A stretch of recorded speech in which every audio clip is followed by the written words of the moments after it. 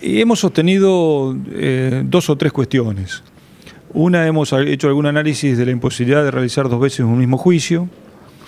Hemos eh, hecho alguna consideración de la forma irregular que se secuestró el móvil policial y hemos hecho alguna consideración a la arbitrariedad que ha tenido la sentencia en la valoración de las pruebas.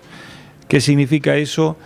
Que mm, las, dos testigos eh, de, mayor significancia a los fines cargosos, es decir, a las pretensiones del Ministerio Público Fiscal, creo que hemos demostrado en la audiencia que son sumamente mendaces y que no se corrobora su relato con el resto de los elementos probatorios que tiene la causa. El tribunal, eh, una vez que culmina la audiencia, a partir de ese momento el tribunal tiene 10 días hábiles para resolver si le asiste razón a la defensa, revoca la sentencia o si la confirma.